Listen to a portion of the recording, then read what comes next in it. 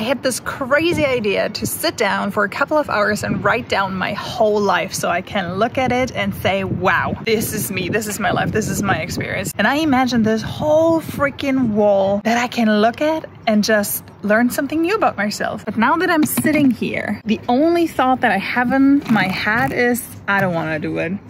Not that it is too much work, there's just some things that I don't want to look at anymore, where I'm like, I am so happy that I found peace with these things. And it's not that I want to ignore them, it's just that I've grown so much from them. I learned my lesson. I don't need to go back to visit that place anymore. I used to do this a lot, so many times, where I used to journal about my life daily, about the things that I'm working through, the things that are bothering me, the things that make me happy, the things that are make me grateful. And I came to the conclusion that I do this a lot of the times when I'm severely stressed out, where my nervous system is just through the roof and I don't feel safe and I just need to hold on to something or I just need to figure something out or I need to analyze a certain emotion or I need to make big decisions.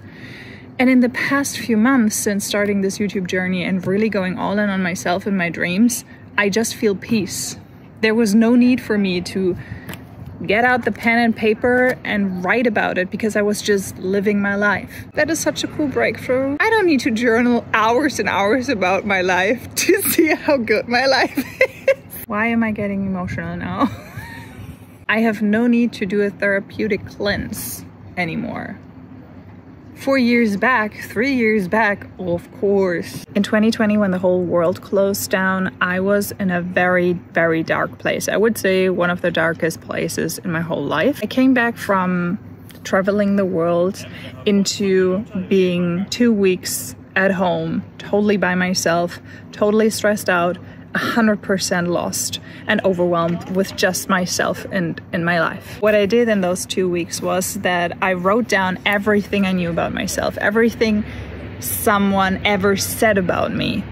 And I put it all on a wall, and it was so good for myself and my heart. And there was just something in seeing that on these paper in front of the wall where I felt like this is something that I know about myself. This is something that gives me some guidance. Three years later, I thought it would be such a cool idea to go back to that.